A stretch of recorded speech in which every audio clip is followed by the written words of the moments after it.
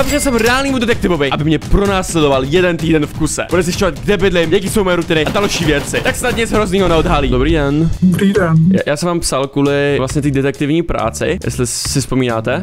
A chtěl jsem se vás zeptat na pár otázek ještě než do toho půjdeme. Já bych chtěl, abyste mě vlastně týden pronásledovali a zjistili o mě co nejvíc informací. Bylo by to možné? Ano, určitě se můžeme nějak domluvit. A mohl bych se zeptat, jak to teda bude přesně probíhat? Během následujícího týdne vás budu sledovat buď na sociálních sítích nebo v reálném životě a budu si vás všechno zapisovat, natáčet videa a fotit. Jo, dobře, dobře. A kolik by to tak stálo? Naše služby začínají na 250 korun za hodinu. To je celkem drahé, ale asi to chápu, že to je asi celkem těžká práce. Počet hodin si můžu navolit dle sebe? Já, vaše hodiny si můžete navolit dle vaší lobosti. Dobře, děkuji za informace. A poslední věc, na kterou bych se chtěl zeptat, kdo si vaše služby platí a proč? Většinou je to kvůli tomu, když to chtějí zjistit a neběrou mezi sebou, nebo hledají nějaký důkazy, nebo hledají nějaké své osobní věci. Přesné detaily vám ale bohužel k tomu už nemůžu říct. Dobře, tak to bylo všechno, co jsem potřeboval vědět. Více informací vám zašlu na e-mail. Jo, díky, naschle. Naschledanou. Bude chodit v náhodný časy, takže vůbec nevím. Jestli mě například teďka pronásleduje, ale nikoho tady nevidím, jak se že by to byla ta borka na té lavičce, ale to si moc nemyslím, Lukáš. No jestli ta detektivka tak je hodně nenápadná, no nevím, hele, budu se snažit dávat pozor a zajímá mě, jestli se ho všimnu. Jestli se ho všimnu, tak to určitě zkusím natočit, ale je to extrémně vtipný. Se to dává na jídlo?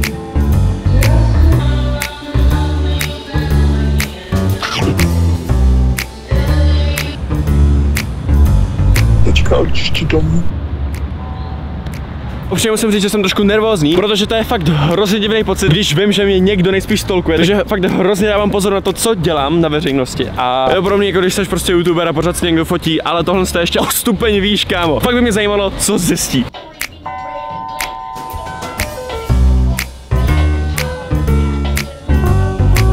Teď vybírám oblečení.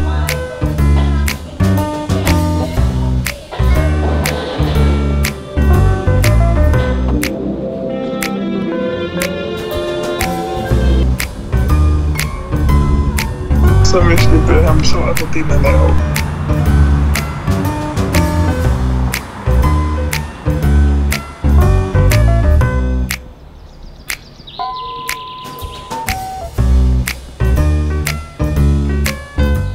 Jako další věc, co mě v tomhle týdnu čeká, je autoškola. Jo, kámo, jdu řídit za volant. Takže mě zajímá, jestli mě detektivka špehuje i teďka, ale nikdy nevidím, kámo, může to být kdokoliv. Na tohle mé auto, v kterém teďka jezdím, jezdím s autoškolou Nobe. Super na tom je třeba to, že po celou dobu mý autoškoly jezdím v jednom autě a na konci s tím jedním autem děláte i zkoušku, takže víte, kde máte všechny páčky, máte cit pro brzdu, protože máte prostě celou dobu to stejné auto, víte, jak se chovat. Takže to je určitě mega dobrý plus. A jo, já už jdu teďka jezdit. Zatím to je super, jsem asi v půlce výcviku. Doufám, že udělám zkoušky, ale myslím si, že jo, protože autoškola Nobe má velkou úspěšnost u zkoušek. A pokud chcete taky jezdit s autoškolou Nobe, tak běžte na nobe.cz, protože jsou po celé republice a jsou fakt dobří. A já jdu jezdit, čau.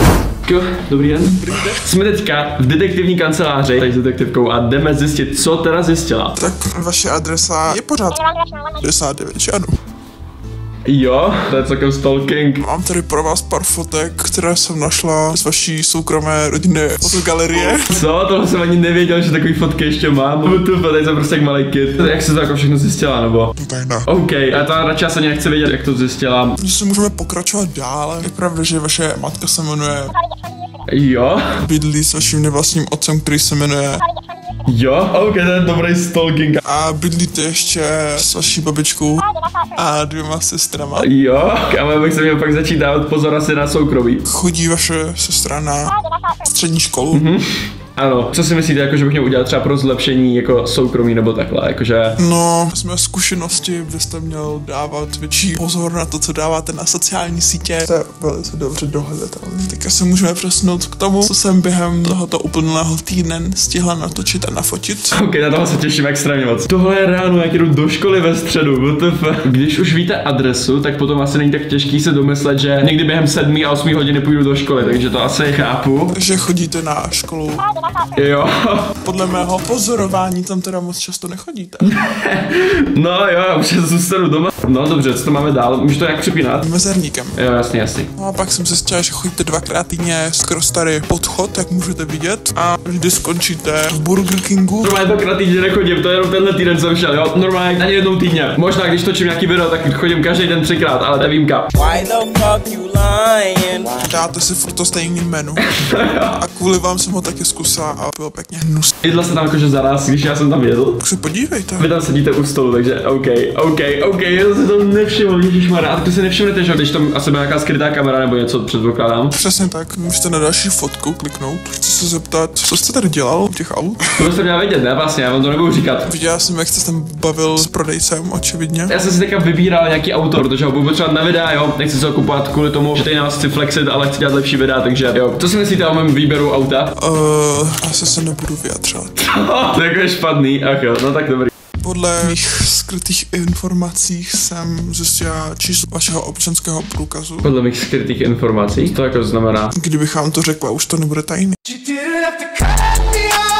tak to, tak to je super. A jako můžu si to nějak zabezpečit, aby to jako nezjistil někdo, kdo bych třeba nechtěl, aby to zjistil. Musíte mít okolečko navíc. Správně by to číslo mělo být 97 Děláš si srandu, počkej, počkej, já myslím, že to je fakt správně, já si to zkontroluji. 97 To fakt, hej, já se reálně fakt začínám bát o svoje soukromí, jakože tohle je extrém během jednoho týdne, tady tohle všechno. Dělá se takového pronásledovatele třeba nějakému politikovi nebo někomu známému. Tak to vám nemůžu sdělit, ale většinou se mé služby objednávají lidé, kteří se buď nevěří, nebo potřebují například najít nějaký svůj předmět ztracený a tak dále. Ok, to dává smysl. Takže mi třeba najdete moje ztracené mládí. Haha, Radši jdeme dál. uh, nevadí. Chtěla jsem se zeptat, jak často si perete oblečení. Takhle jsem se díval do naší prádelny doma, nebo uh, Ne, ale z mého průzkumu jsem zjistila, že se teda jako moc nepřevlíkáte, nebo Já jakoby jsem měl myslím, že dva nebo tři outfity za ten celý týden a jo, mně se to prostě nechce dělat, kámo. Já prostě mám doma oblečení, tak se ho prostě na sebe hodím a dokud jakože je fresh, tak ho prostě mám na sobě, takže jo.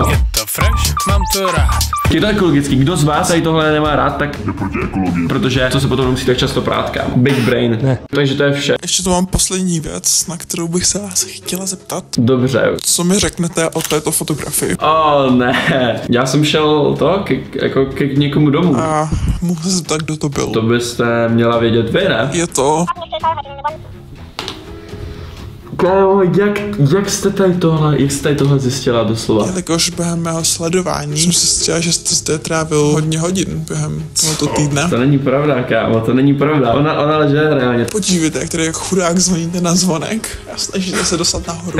Jak víte, že nahoru. Vidím i patro, vidím i dveře. Co? Je to pravda, jako nemůžu lhát, kámo, nemůžu lhát. Takže to je vaše Je přítelkyně. to tak, je to tak. Podle mě je čas. Tohle video to známe, kámo. Mám holku, zatím vám ji nebudu ukazovat, protože Možná do budoucna, když budeme pořád spolu, tak vám ji ukážu. Takže jestli se ani těšíte, tak dejte člena na tenhle kanál, protože budete mít předběžný přístup na videa, takže jestli někdy budu plánovat ukázat, tak vy uvidíte jako první. Tak to bylo všechno, co se mi podařilo zjistit. To je actually ještě mnohem víc, než jsem čekal. Já doufám, že i vy jste si užili tady tohle, protože to je fakt insane. A četla jednou děkuju. Těšilo mě. Mě taky těšilo. Tak jo, se tím naschle.